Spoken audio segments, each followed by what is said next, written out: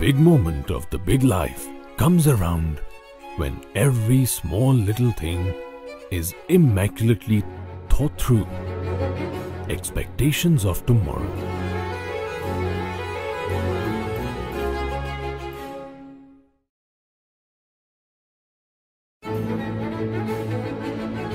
It's always around your imagination. It's always around your character. And it's always around you.